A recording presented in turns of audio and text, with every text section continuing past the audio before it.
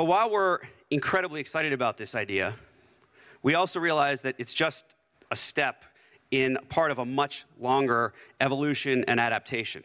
You see, every time a new technology has come out in our industry, um, anything like what we're seeing today, we've had to adapt. And the irony is that every time a new technology does come out, the studios fight it with all vigor. Um, and yet, it's been the biggest growth driver for them each time they fight it. The DVD, for example, was originally called by the studios the studio killer. And it, they fought as hard as they could to stop DVDs. And it turned out to be the single biggest growth by multiples that the industry had ever seen. When Netflix was first introduced, and it was just a DVD mail order and company, uh, and we signed a very large deal with them, created something called the SVOD window, um, uh, or, or SVOD uh, window. The large studios, meanwhile, and prior to, resisted Netflix again with all vigor.